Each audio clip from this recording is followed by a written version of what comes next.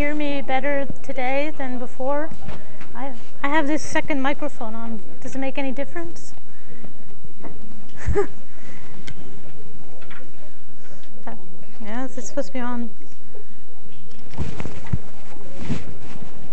Right here. Can you hear me better now?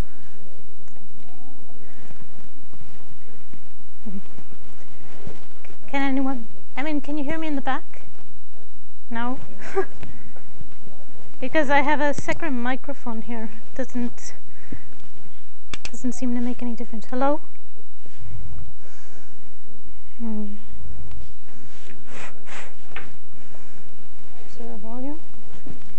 Hello?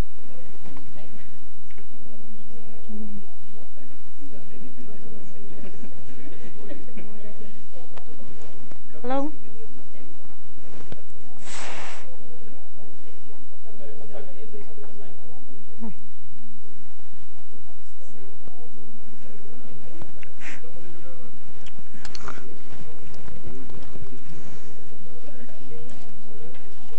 Can you hear me?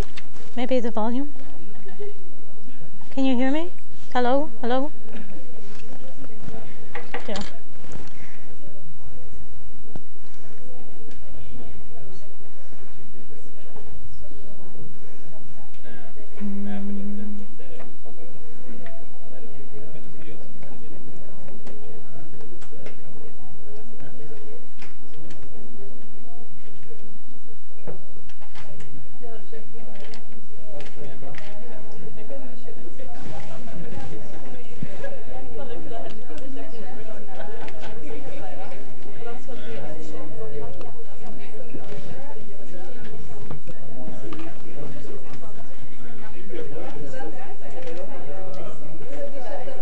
Hello?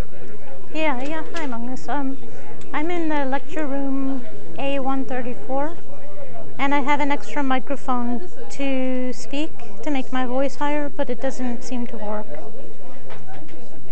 Uh, can you just come in and look? Okay, thank you. Bye.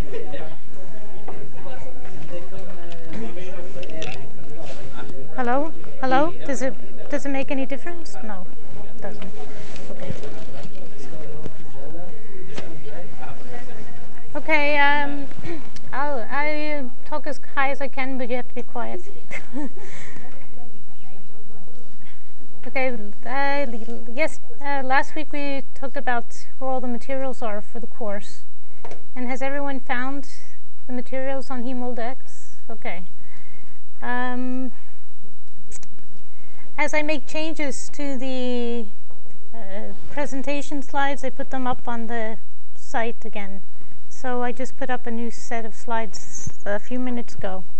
So, so it can be different from what was up before. And I sent around a sign-up sheet last time. And it's not that we have to have a sign-up every time, and you don't physically have to be here every time, but I want to know if everyone that's expected to be in the class is on Fronter. And like there's one list. And the last time when I got everyone's names, there were about 15 names on this list that weren't on Fronter yet. So you need to check and make sure that you're signed up for the class if you want to be signed up for the class. Uh, so um, if you didn't, do not remember writing your name on this list last time, please uh, write your name on the list this time. okay, yeah.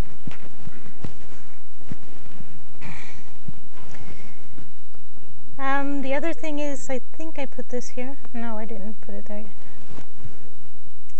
Um, okay, I was I was working on a list of everyone's names, and eventually I will put it up here. So that will be the, that will be placed there.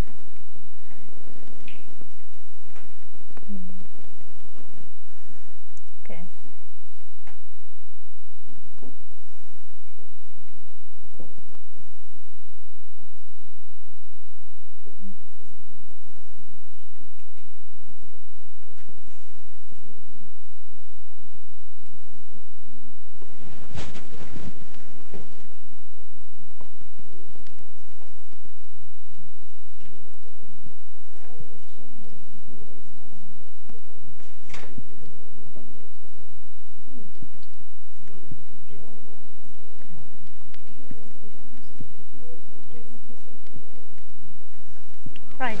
So today we're going to talk about um, chapter two, which is organization strategy and project selection.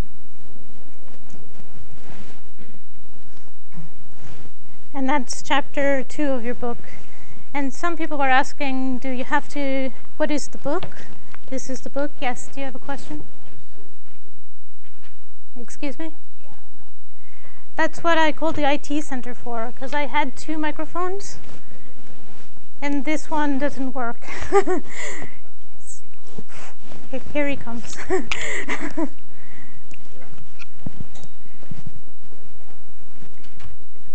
um, I don't know if there's something on there I have to change. Hmm.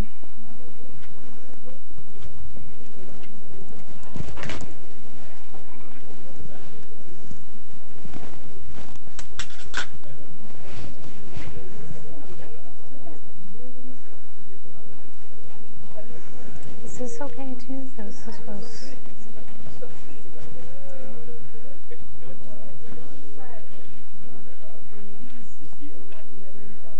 Hmm.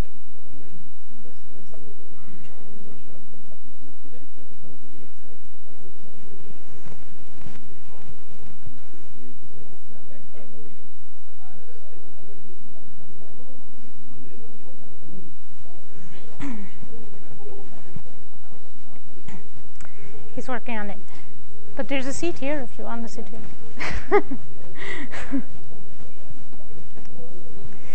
so anyway, this is like a large process and you can see how they have it mapped out. The book's supposed to cover this process. And this is the book. It's in the bookstore Larson and Gray and it's uh, sixth edition. But I, I pointed out before that online you can see there's a link. Um, just end the show for a second.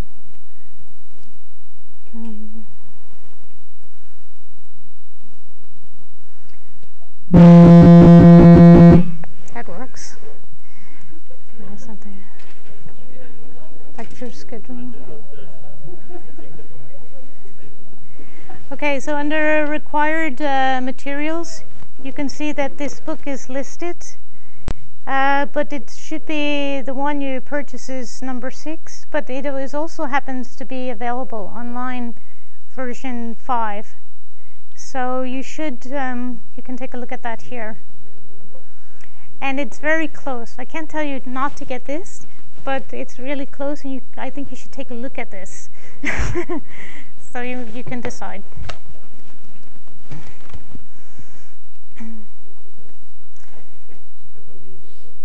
Okay, so we were on this.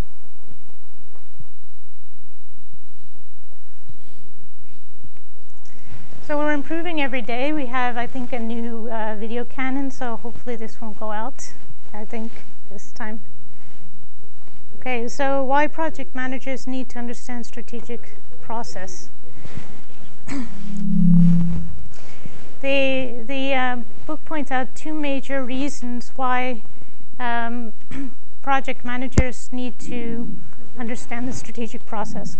And that is that the managers have to respond to changes with and make appropriate decisions about future projects. And that managers need to understand their organization and become effective advocates of the project. So they both need to make the right decisions about which projects to support and not support uh, in, on an ongoing basis. And they need to also point out the, the benefits of the project to other people, other stakeholders uh, in the organization. So these are the two main reasons. Working better? Hello? Yes, much better. Okay, great.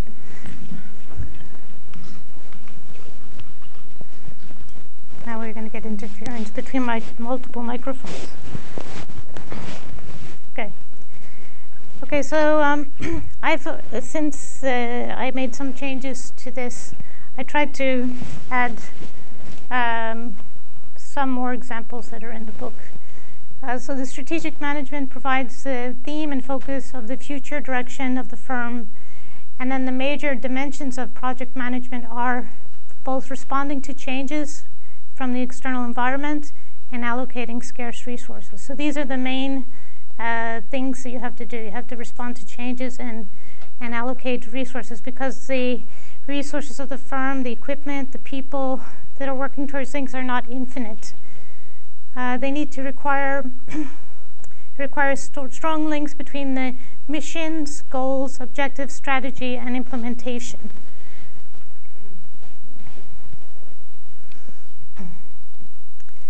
So the four activities of strategic management process are to review and define the organizational mission, to set long-range goals and objectives, to analyze and formulate strategies to reach objectives, and implement the strategies through projects. And this um, can be broken down into what is the mission of the organization, and what are the long-range goals and objectives, what are the strategies, and how do you implement those strategies. So we're going to talk about the, a little bit about each of these things. First of all, what is a mission statement? I like when everything comes up at once. Um, so I added this. The, this is this is a statement in the book also, but I added this. The mission statement identify both the mission and also it leads to the long-term objectives. So, what is the mission? That it's description of what we are now. What are we in the business of doing?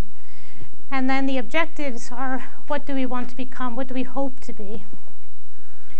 Uh, the mission statement components are, for example, uh, what, what makes up the mission statement. It's going to be about products and services. It's going to be about the organization's philosophy.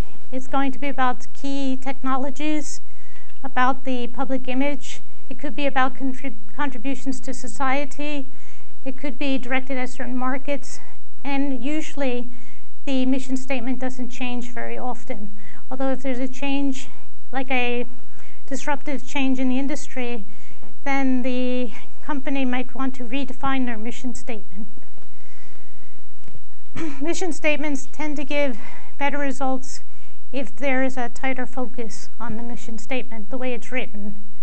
So we can look at page 29 in our book of edition 6, for example. And so many wires, I'm getting stuck. Okay.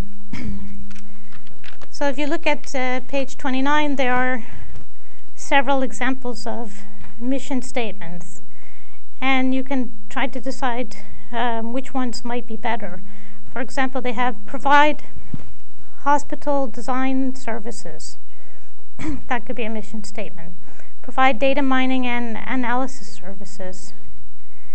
Provide information technology services. Increase shareholder value provide high level uh, products to our customers. So, in this case, it's about products or services, or it's about um, um, uh, it's about focus on customers. But these are very brief statements. So I wanted to point out some other, and also say that the the mission statements lead to the objectives and the objectives are more concrete terms of the mission statement. So uh, that's uh, spelled out on another slide. But if I give an example of Boeing um, uh, and their mission statement,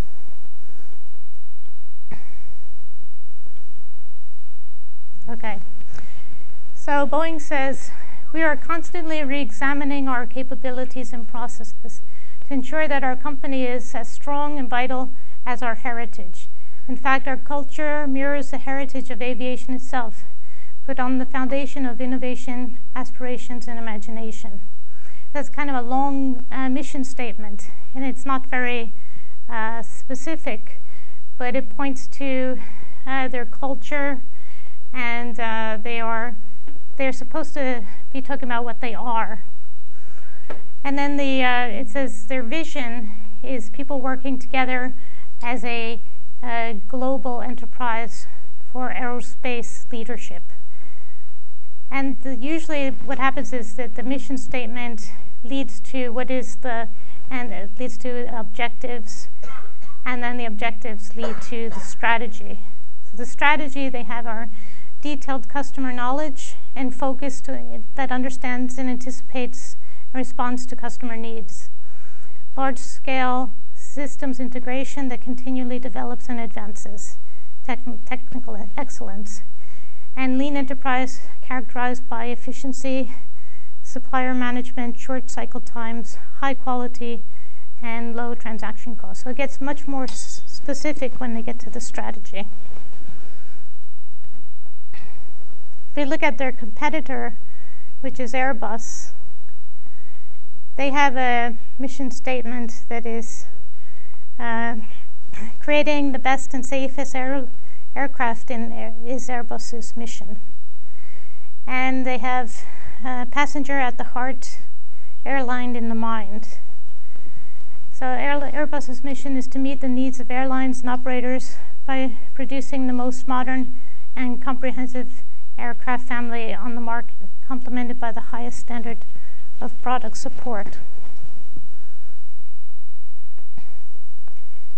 If you look at the college's mission statement, and I don't know if this has been changed, I, this is what I had from a few years ago.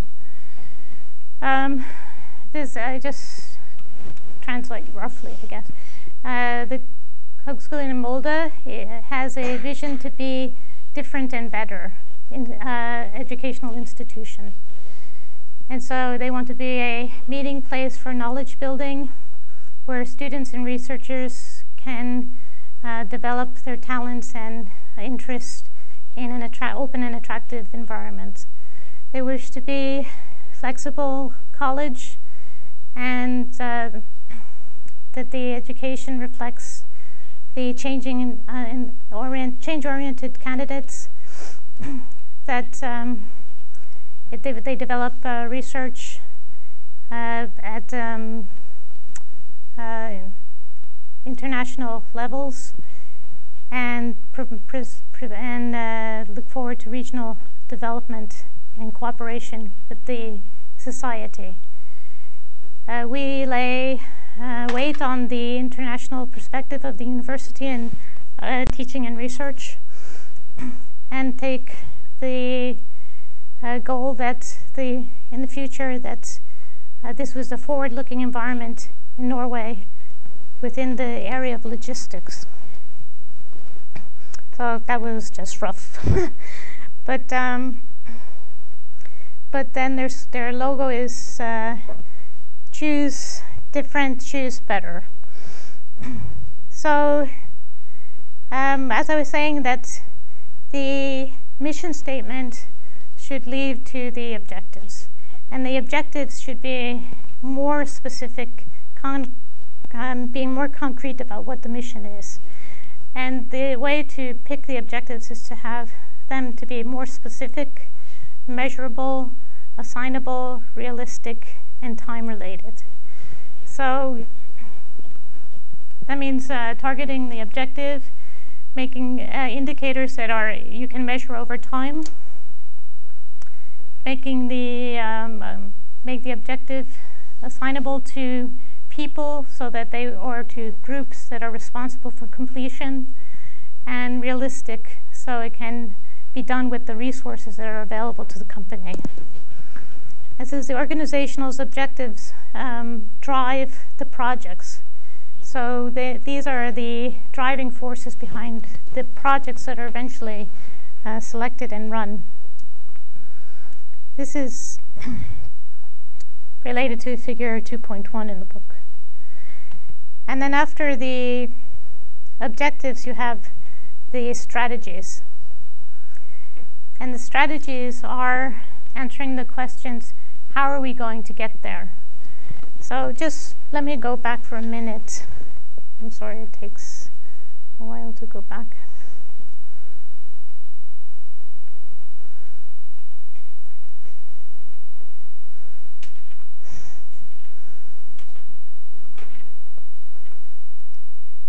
Oh yeah. So anyway, uh, the mission statement we said again, this was uh, what are we now? And then the long-term objectives are what we want to become. And then we, that leads to the strategy. And the strategy is how are we going to get there?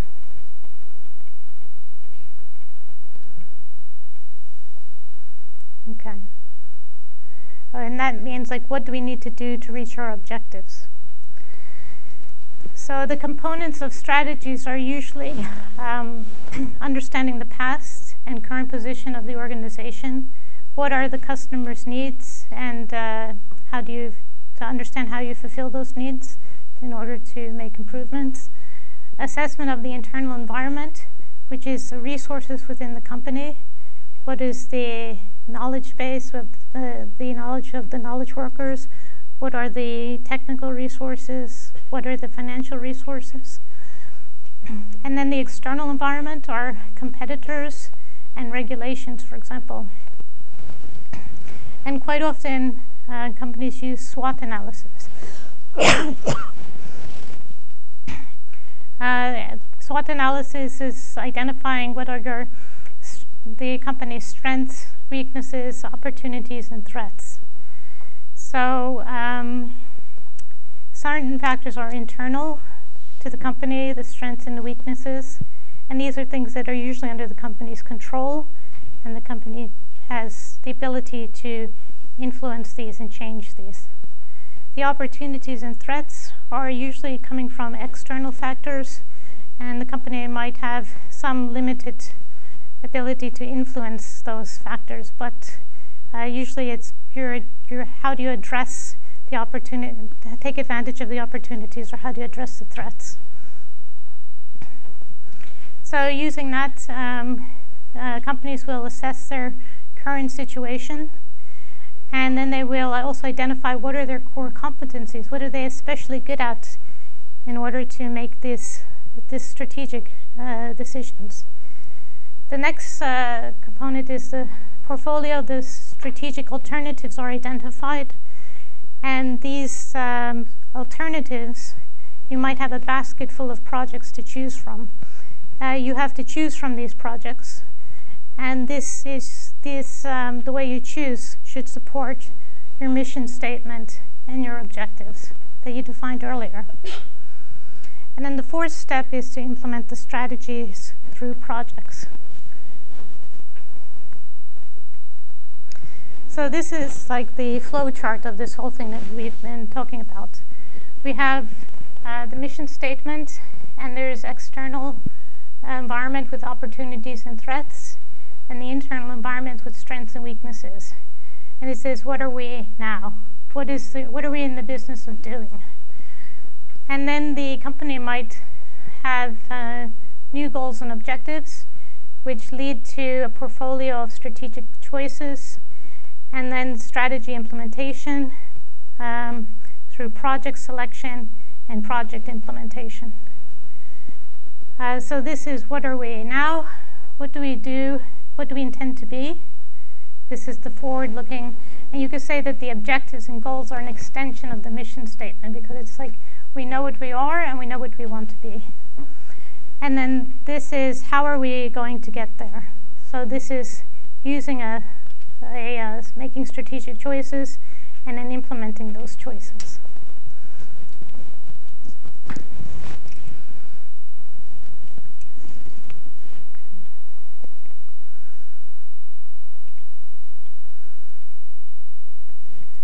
Okay, so implementation of projects.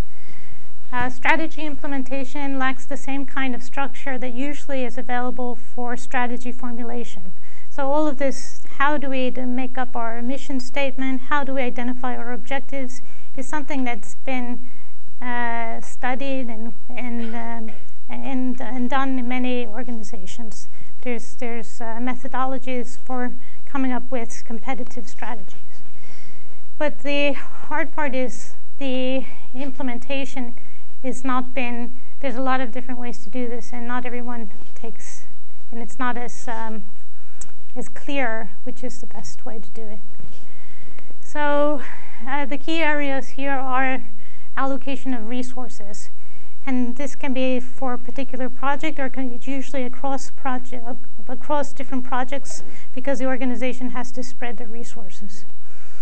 And then a formal and informal organization that supports strategy and projects and planning and control systems to be sure that activities are performed effectively. So that means you have to have some sort of planning of who's going to do what, when they're going to do it, and then a way of checking that it was actually done correctly and, and effectively. And you need to motivate the project to the contributors. Okay. And then there's also prioritizing projects.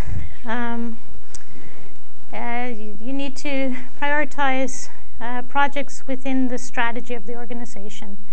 And if you don't prioritize the projects that contribute to the organization's uh, mission and objectives, uh, then uh, you won't have successful projects. And without a successful implementation stage, uh, success is not uh, possible.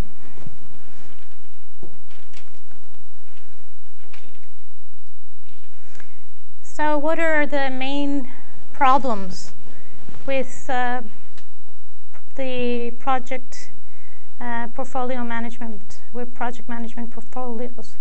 And how do you make sure that the right projects are selected and um, how they're implemented? Uh, the one problem is this they call the implementation gap.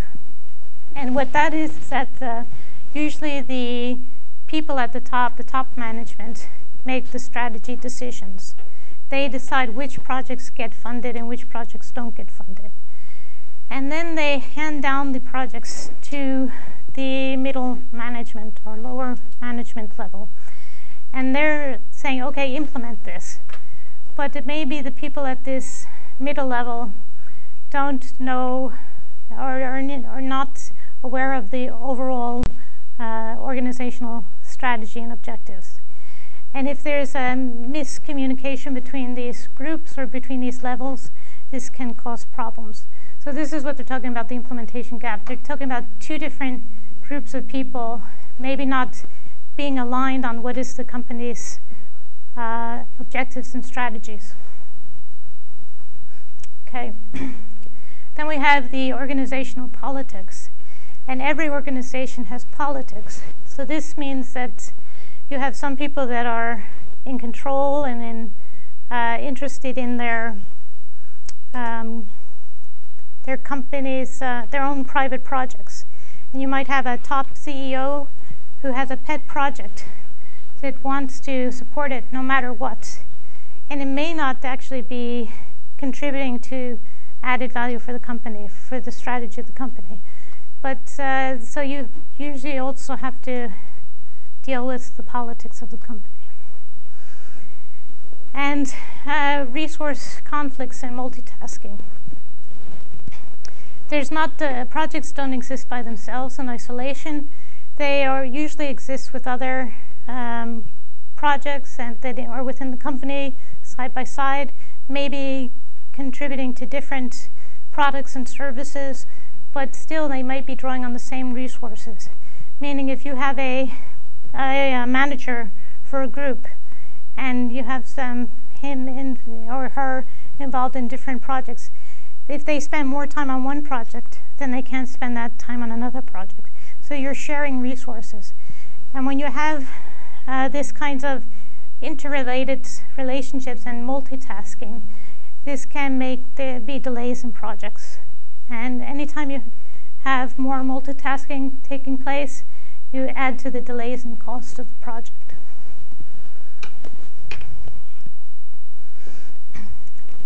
So how do you solve these problems? Well, how can, how can the project manager deal with these things that occur and happen within the company normally? Uh, you need to set integrative criteria and processes for evaluating and selecting projects. So first you have to select the correct projects and then you need to support higher level strategies and objectives.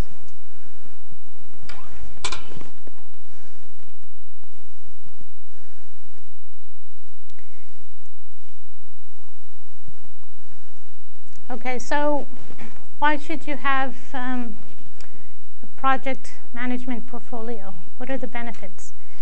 It builds discipline into the project selection process. It links the project selection to the strategic metrics, prioritizes the project proposal across common set of criteria so that you're not doing it on politics in the organization, you're doing it on it's meeting the criteria the organization thinks is valuable and associates the resources of the projects that align with the strategic direction. Uh, it allows you to balance risk across projects because all projects have risk, and it allows you to stop projects that do not support the organizational strategy and improves communication and support of the project goals. So communication, you don't have this, you don't have this implementation gap.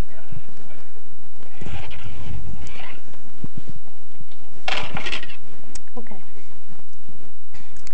So how do you classify projects? And we're going to do a short exercise with this. Uh, there's three basic uh, classifications of projects. Mm. Note.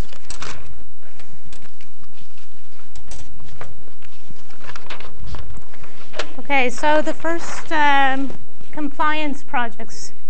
The compliance projects are projects that you need to do because of maybe there's regulations that say you have to do them. And if you don't do them, you're going to get fined. So if there's some sort of like a CO2 limit on your automobile that the emissions, then you're going to make an automobile that meets those requirements. And if you don't, then you get penalized.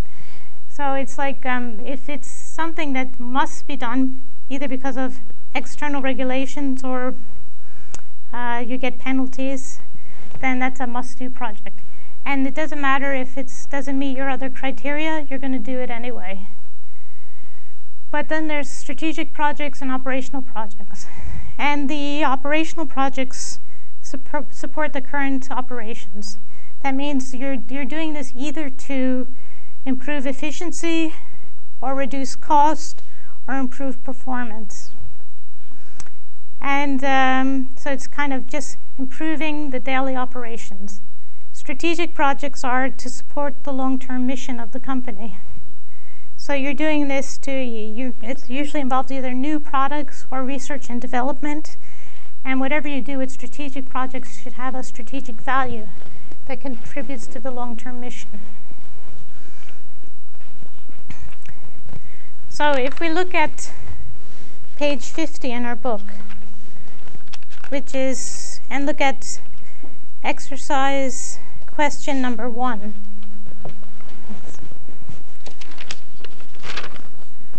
Okay. Now, everybody that signed this, it's you didn't sign it before, or you did? okay. So some of you have signed before, like the previous lecture. Okay. I was looking for those that had not signed on the previous lecture. but that's okay. We'll check. See if there's any new ones. Okay.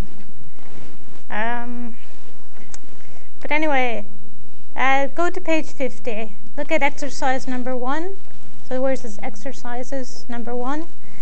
And uh, we want to know um, uh, what are the, how, how you would classify each of these projects in terms of these three types of classification systems. So, does everyone have a book?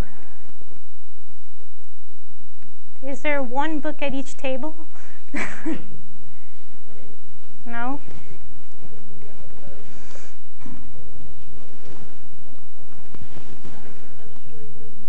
You can look at the online version. Do you have does everyone have something that can access internet?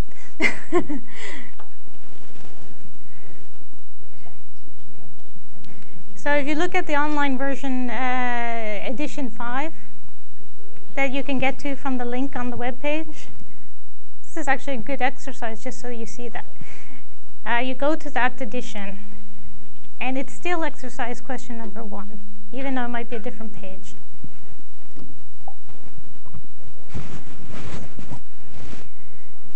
So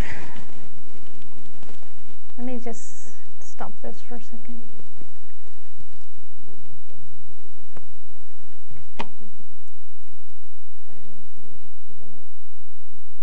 Required materials. Fifth edition.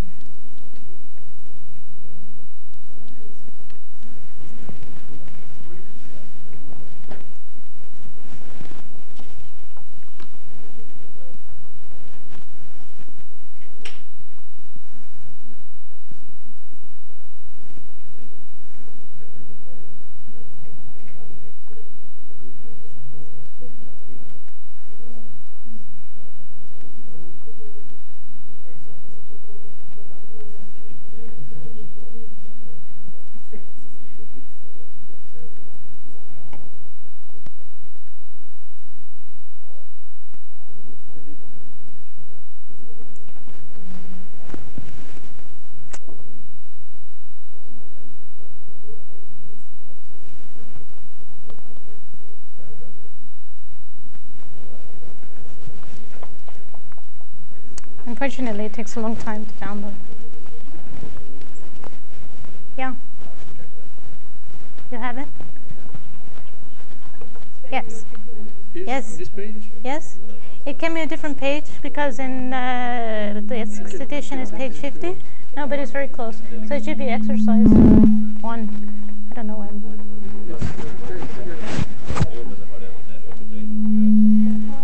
For some reason, I, it's not review questions, it's exercises. So go down a little bit. Okay.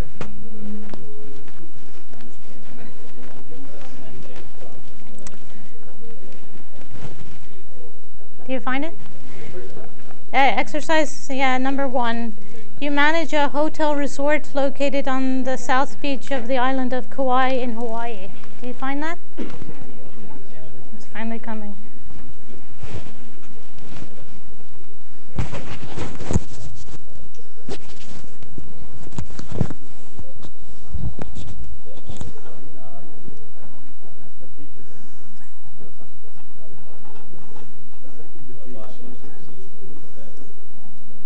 If you have saved this locally, it will be a lot faster.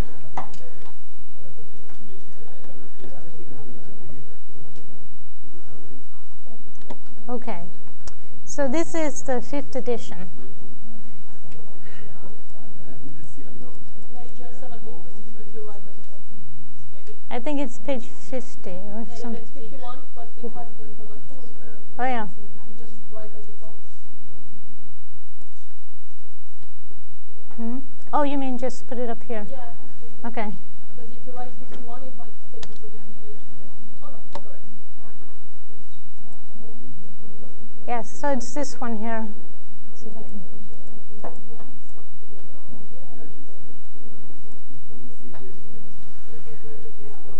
Okay. So it says uh, this is on page 51 of this online book. And you say uh, you, man- you manage a hotel resort located in South Beach on the island of Kauai. Uh, you are shifting the focus of your resort from a traditional fun in the sun destination to an ecotourism. Ecotourism focuses on environmental awareness and education. How would you classify the following project in terms of compliance, strategic, and operational? So you need to classify these projects under each category. So like the first one, convert the pool heating system from electrical to solar power. Well, there's no compliance. You don't have to be eco. yeah.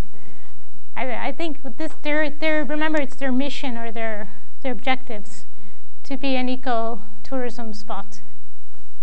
Uh, so, um, how many vote for uh, compliance? How many vote for operational? How many vote for strategic? Yeah, well, most people are not voting. It is, but the most have voted for strategic, and I think it would be strategic. And then it's uh, build a four-mile nature hiking trail. What would you call that?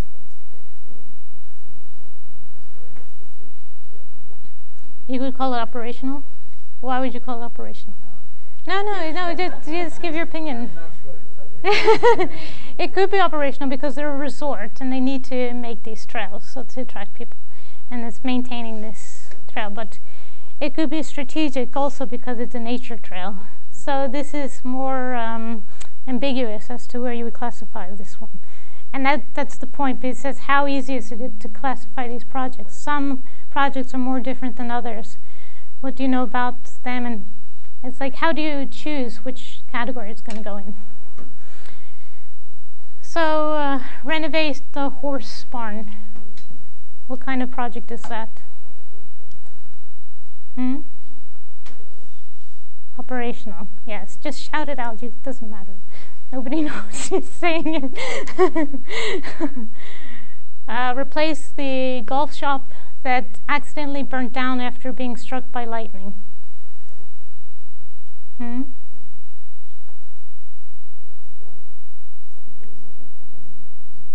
How many vote for operational? How many vote for compliant? Yes. How many vote for strategic? No. But this, I think this one, they actually took this out of the sixth edition. but I, I think that this is actually compliant because it's. It, they also mention in the book that compliant is also dealing with emergencies. So maybe. Uh, launch a new promotional campaign with Hawaii Airlines. Hmm? Yeah, strategic, yeah. Uh, convert 12 adjacent acres to wildlife preserve.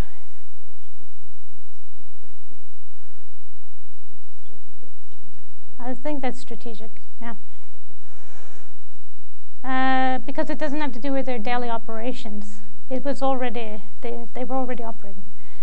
Uh, update the bathrooms in the condos that are 10 years or older. Operational. Operational, right. That one was clear. Okay. Uh, change the hotel brochures to reflect the ecotourism image. Strategic. It's strategic, yeah. Because even though they need brochures, they don't have to update them. No. Um, test and revise disaster response plan. Compliance, yeah. Because maybe the rules of how they have to make emergency exits available and so forth have changed, and then they have to comply with that. Uh, introduce wireless internet services in the cafe and lounge areas. I think that's operational because there's no strategic advantage to having that. It's more like a commodity. You have to have it. Depends where it is uh, located. If it's located in an area where they get benefit, uh, where they get competitive advantage from introducing wireless internet, Yes, so it can become a strat- strategic. it can be. Yes, so it's more. It's one of those ambiguous ones too. If it's it's on an island. yeah, if it's in Oslo, no, maybe. It's just an island in Hawaii. yeah, it's not. But actually, it's not so remote. so okay, so now we'll have a break. Uh, come back in 15 minutes, and we'll do the next part.